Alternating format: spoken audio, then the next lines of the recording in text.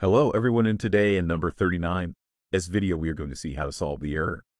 That Pinterest is not working correctly we are going to see two ways. First we open the App Store of our iPhone or if you are on Android you will.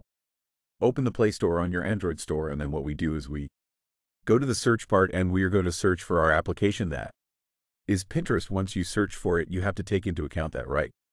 Here on the right the open button appears. If update appears it means that there is a new version that you do not have on your iPhone and you have to give it so that it is updated in case the open button appears as it appears to me let number 39. Let's go to the second solution in which we open the settings of our iPhone and then we will go down to the general part then.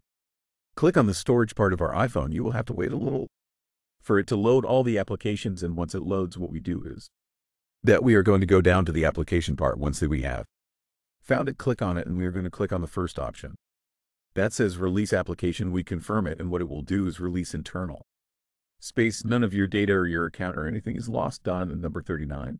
Don't worry, we give it to the application, we wait for it to load, and once it is reinstalled, the problem of it not working normally has probably been solved. Also remember that you have a good internet connection each time. It can also be the cause of the problem. This is all. Thank you for watching this video and see you at the next one.